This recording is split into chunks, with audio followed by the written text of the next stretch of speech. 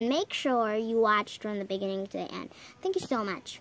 And hit the like button. That way you'll watch more of our videos when we post them up.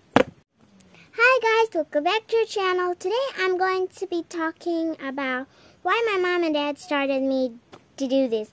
Well, they started all of us first with our own channel, but we didn't really concentrate on it. So my mom started me off with her helping her with the channel hair channel. And then she also didn't tell us that all this online business was also for the three of us but we didn't know just yet. And then she started talking to us mostly and then she started we had we started having meetings with our family and then we I found out that this business is all for us. And I also wanted to tell you guys that we also have over than 2,000 subscribers, and I wanted to thank you guys for that. Thank you so much, by the way. And I also want to talk about why they started me on this. They started me because I just told you a few minutes ago. Uh, they wanted to, me to have a better future. Mostly, I grew confidence when I started making videos, but then now I'm I'm growing more my confidence to make videos. And some of you guys have been sending nice comments. Thank you so much. I really appreciate it. And thank you so much for subscribing and hitting the notification bell. Now that's why my parents started me off with this online business. If nothing we would just focus on the garden. I'll try. Yeah. If nothing we would just do that yeah, they would just start me with the garden, but then they thought of a better way, which is online. Good. I mean, I thought that online was not really that good, but then I found that it's really good.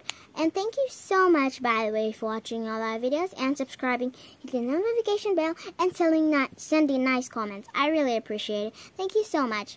And basically, it's my mom doing all the, all the work.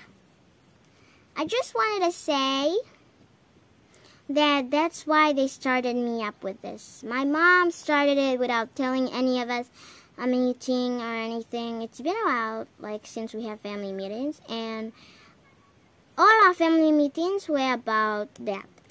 When since we started, we have other people with us, not personal meetings with our families. When that happened, I I realized that my mom started it like two years ago when we came to the village. Um, she started it and she didn't tell us. And she made ebooks, maybe two ebooks year and an year ago about us and our future and our lives and our struggles. Well, first we kind of, we kind of actually our father and my father and big brother went down to his village and we were staying we barely had no food and we had our friend, on the other hand, was helping us, which is kind of nice. It's He's a youth now. Those ebooks my mother wrote our life stories inside. There's two of them. And if you want to buy them and learn what our lives have been through, you can go and buy them. They are like the first and second book she created. Thank you so much for watching this video. I hope you enjoyed it. And make sure you watched from the beginning to the end. Thank you so much. And please subscribe, hit the notification bell, hit the like button. That way you'll watch more of our videos when we post them up. Bye!